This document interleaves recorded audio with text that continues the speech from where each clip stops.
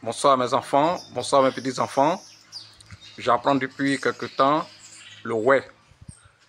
Pour que notre langue se pérennise, il faut que de temps en temps, nous qui sommes les plus âgés, on enseigne notre langue à nos enfants et à nos petits enfants.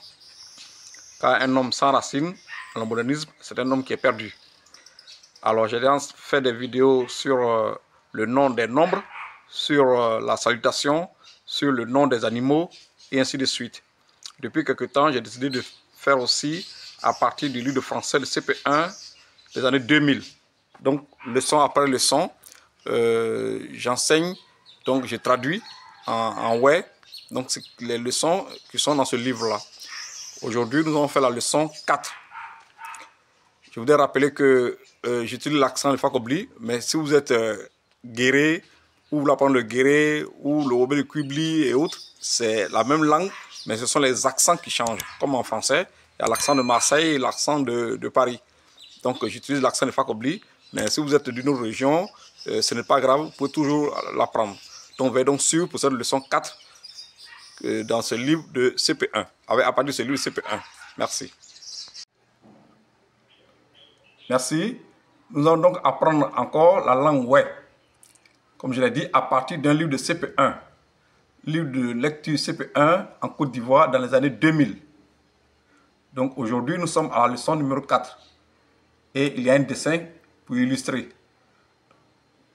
Voici donc le dessin. En bas du dessin, il y a ce qu'on appelle une phrase. Je vais lire la phrase. À ma porte, une cuvette. Encore, c'est écrit encore une deuxième fois. À ma porte, une cuvette. Cette phrase-là, on va la traduire dans la langue ouais. Donc en langue ouais, c'est ama ble kenge.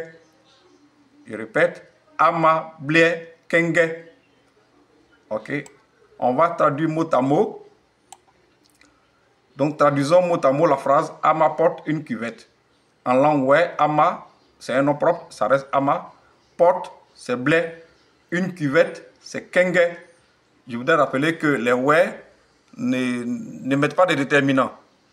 Donc, une cuvette, c'est simplement kenge. Nous allons passer à la page suivante.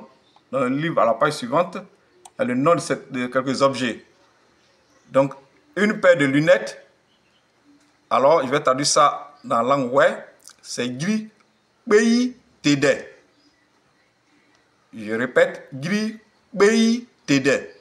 Si on traduisait mot à mot ce nom-là, ça veut dire ce qu'on met sur les yeux. Le, deux, le deuxième mot, c'est une tenue. Donc en ouais, on va dire oulier. Donc une tenue, en ouais, on va dire oulier. Voilà. Nous allons continuer. Le troisième mot, c'est la lune. La lune, en ouais, on dit chou. Je répète, la lune, en ouais, on dit chou. Une culotte. Donc une culotte, en ouais, on dit soïtier. Je reprends, soïtier. Si tu as dit mot à mot, ça signifie pantalon coupé. Le dernier mot, c'est une allumette. Donc, dans la langue on dit takla. Je vous dis merci.